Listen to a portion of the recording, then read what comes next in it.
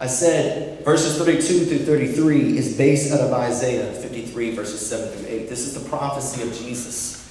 And Jesus is suffering. Jesus is going to suffer at the cross of death. It's going to be injustice. And Philip is going over this of who Jesus Christ is. Philip has the opportunity to lead him to Jesus Christ, into a relationship with Jesus Christ. So, the third aspect of God using misfits to tell, to communicate his story. Number one, yes, misfits are wired differently. Number two, you engage in the story. Number three, you tell Jesus' story. You tell Jesus' story. Now, if I throw out this word to you, evangelism, some of you all may think positive. Some of you all may think negative. Some of you all may think, okay, I think of, um, I think of witnessing. I think of passing out a tract. I think of talking to someone about Jesus. Negative connotation, you may think of turn and burn. You might think of the guy on the street corner who has a bullhorn that says you're all going to burn in hell. You may think of fire and brimstone. Did you know that according to Barna statistics, that 30% of people who come to a service is only invited by a church leadership staff, but 70% will come to a church service with someone they knew who invited them. But here's the interesting thing though. Do you know that many, many followers of Christ, many of us believe and feel that our faith is a personal matter? meaning we don't need to share it with anybody. We're going to keep it to ourselves. And this is not true. There's a pastor I heard a couple years ago, and I forget the guy's name, but he said, pleading the fifth is not an option when it comes to our hope.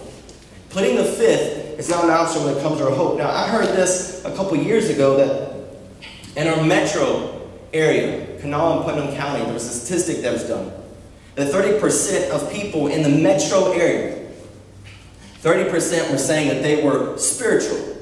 In that category falls as whether you're Christian, whether you're a Wicca, whether you're Catholic, Muslim, Buddha, whatever else. 30% in the mentioned area, Kanawha County, Putnam County.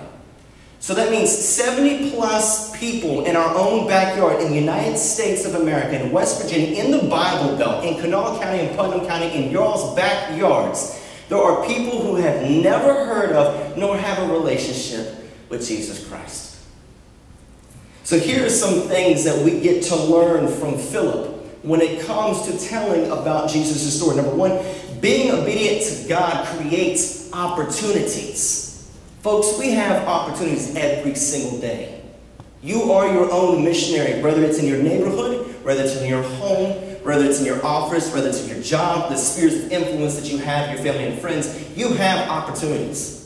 You have an opportunity when you pump gas to actually go in and have a conversation with the clerk or actually do the credit card because you got to go somewhere else. Guarantee you five minutes can make a difference depending on how you interact with the clerk at the counter at 7-Eleven.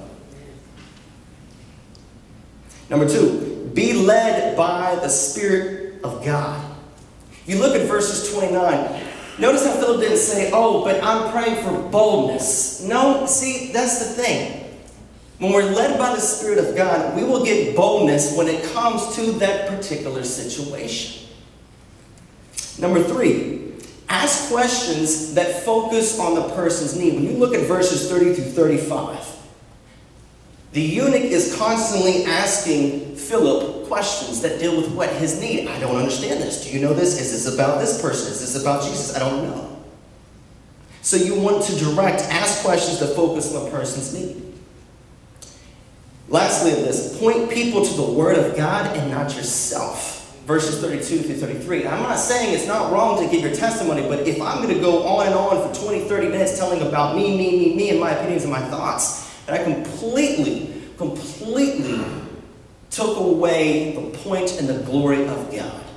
It's got to go back to the Word of God. So, He's giving him the gospel. He comes into relationship with Jesus Christ. He sees some water, and we pick up in verse 38. He says, So he commanded the chariot to stand still. So that tells me that at least one other person was with him if he's commanding the chariot to stand still. So publicly, there's somebody else with him. And both Philip and the eunuch went down into the water and he baptized him. Now, just a side note here baptism means immersion, that we're going into the water. Verse 39 Now, that when they came up out of the water, the Spirit of the Lord caught Philip away, so the eunuch saw him no more, and he went on his way rejoicing. But Philip was found at Azotus, and passing through, he preached in all the cities till he came to Caesarea. So after the Ethiopian gave his life to Jesus Christ, he wants to be pulled over. And let me just say for a side note here, was an apostle. He was an everyday regular guy that baptized another everyday regular guy. So he pulled over and he baptizes him. He's filled with the Spirit, he's filled with joy. Philip goes to one direction while the eunuch goes back home. Now, I want to come back to the eunuch. Remember, the eunuch traveled over 200 something miles, a 10 month round trip, to, to go to worship in Jerusalem. Now, something tells me that he wasn't satisfied. He went all this way to worship. He's not satisfied when he goes to Jerusalem to worship. But then on the way home, he's reading, in the essence, he's reading the Word of God. He's reading the scroll of Isaiah, but yet he's still not satisfied. The eunuch actually reminds me a lot of people in our culture. Religious people. You guys know them. We have them in our culture, sometimes we have them in our church, sometimes we know people. The religious people are people who like to do the checkoff list. I want to come to church. They, they seek out various truths from various things. Or they might go down the to-do list, I did this and this and this. But they have no saving faith relationship with Jesus Christ. And that was the eunuch until he understood that he had to have a relationship with Christ for his sins to be forgiven. Misfits. Misfits know that religion doesn't save you. Jesus does. And let me just take a side note for anybody who is watching this, listening to this, you're here tonight and you don't know the Lord. Let me just say this. You may be in the same predicament, the same boat as a eunuch. Maybe you're doing this whole religion. Religion is a man-made substance. Christianity is about the life, death, and resurrection. It's a personal relationship with God through his son, Jesus Christ. That he literally came down on a rescue mission to save us from condemnation, to save us from hell, to save us from our own sins, so that we would have eternal life. It was washed, it was done with at the cross. But it's not more just an intellect, it's what we're going to do about knowing that Jesus Christ is the Son of God, that he is the Messiah. If you want to talk to me afterwards more about what a relationship with Jesus Christ looks like, I would be more than happy to. John Wesley. John Wesley was a religious man. Matter of fact, I just got done reading a book like on his Bible and so forth. But most people didn't realize this. John Wesley, if you don't know, he is the one that kind of created the um, denomination of Methodist because he had different methods of preaching the gospel and how to reach the people who didn't have a relationship with Jesus Christ. But in the very beginning, early stages of his life, Wesley kind of questioned his assurance of his salvation. Yet he's going out and telling people about Jesus Christ and preaching the gospel, but yet this man has questionable assurance for himself. I want to read you his journal. On May 24th in 1738, he's in London. He's in a small group and he overhears someone reading a commentary by Martin Luther out of Romans. And this is, this is the description that changed and transformed his heart. He says, About a quarter before nine, while we was describing the change which God works in the heart through faith in Christ, I felt my heart strangely warmed. I felt I did trust Christ, Christ alone for salvation, and assurance was given me that had taken away my sins, even mine, and saved me from the law of sin death. And the result of Wesley's transformation turned into the Wesley revival for Britain. Now, I ask you this. We're talking about telling Jesus' story. The question is, are you seeking religion or Jesus? And let me help you break it down for you. Religion is rules and regulations. Jesus is relationship. Traditions or heaven bound. Held captive or set free. Seeking satisfaction or satisfied. Death or life. God works or good works or work that has already been done. Man says, God says. Fear or peace. So we come down to the very last essential that we see in verses 38 through 38 through 40. They're baptized, they come out of the water. Here's the first, fourth one, is to live the story. Live the story. Misfits live the story by continuing to do the work of the Lord.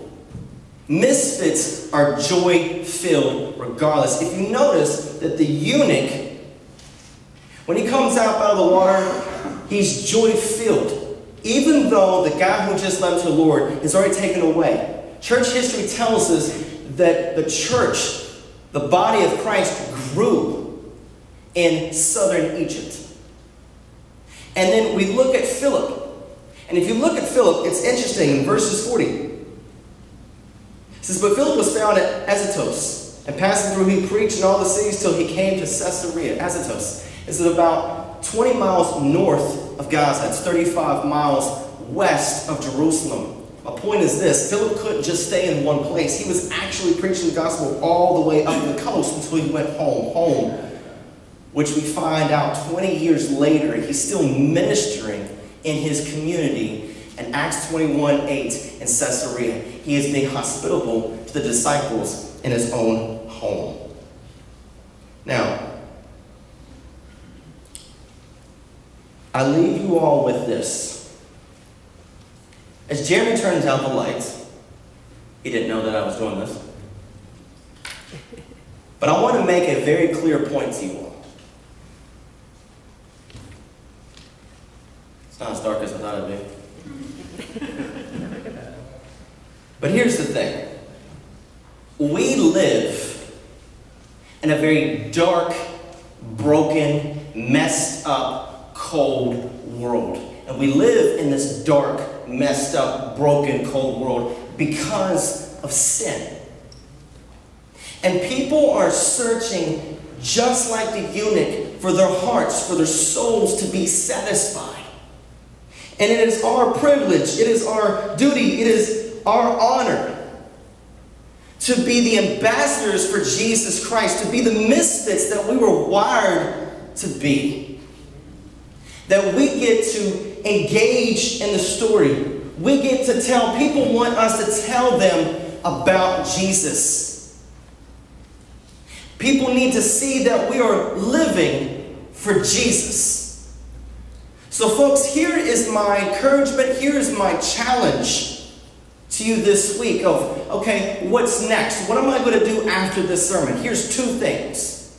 Number one, Maybe take a flashlight, put it in your car, put it somewhere you're going to see on a regular basis to remind you that you are the light, that we are supposed to be sharing our faith of Jesus Christ. That He is the hope, that He is alive. That is why we live and breathe. And two, very simple. Tell someone about Jesus. And after service, there are little postcards there's postcards here, there's postcards here, there's postcards in the back. Why don't you take one and give it to someone that you know to invite them back next week so they can hear about Jesus? Let me pray. Father God, thank you. Thank you, Lord, for who you are, and not who we are, but for who you are. That we get to come in your very midst. We get to come in your presence because of Jesus Christ, the blood, the atonement, the Lamb of God. Father, thank you for the Spirit of God that rises up in us, that conquered hell, that defeated death, and that we have a relationship with the eternal God of the universe. Father, our prayer is that this week that we would not be boxed in That, Father, that we would boldly share our faith, whether at work, outside of work, in the neighborhood, with our family, with our kids, with people we don't necessarily like, but Lord, that you have called us to love. And Lord God, our prayer is that we would be intimately in love with you, that we would search, that we would dig, that we would spend intimate time with you.